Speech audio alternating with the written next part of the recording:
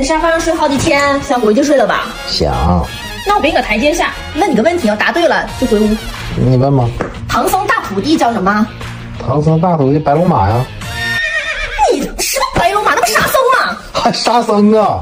我以为孙悟空呢。哎，没事，下一题吧，下一题。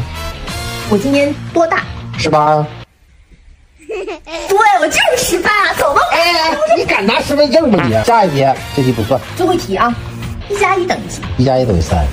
你就是故意的，威龙！你给我解释明明一加一为啥等于三？你和我，然后我们生个孩子，不就是三口之家吗？